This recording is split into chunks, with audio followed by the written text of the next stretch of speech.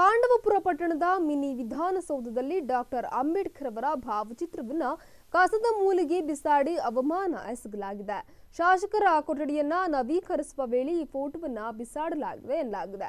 ಈ ಫೋಟೋವನ್ನ ಯಾವೊಬ್ಬ ಅಧಿಕಾರಿಗಳು ಗಮನಿಸದೇ ಇರುವುದು ವಿಪರ್ಯಾಸವಾಗಿದೆ. ಈ ಸುದ್ದಿ ತಿಳಿಯುತ್ತಲೇ ತಹಶೀಲ್ದಾರ್ ಪ್ರಮೋದ್ ಪಾಟೀಲ್ ಅವರು ತಕ್ಷಣ ಫೋಟೋವನ್ನ ತೆರವುಗೊಳಿಸಿದರು.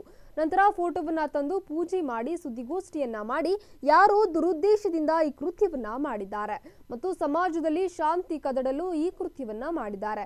ಈ ಕುರಿತು ಪೊಲೀಸ್ ಠಾಣೆಗೆ ದೂರು ದಾಖಲಿಸಲಾಗಿದ್ದು, ತಪ್ಪು ಮಾಡಿದವರಿಗೆ ಕಠಿಣ ಕ್ರಮವನ್ನ ಜರುಗಿಸಲಾಗುವುದು ಅಂತ ತಿಳಿಸಿದರು.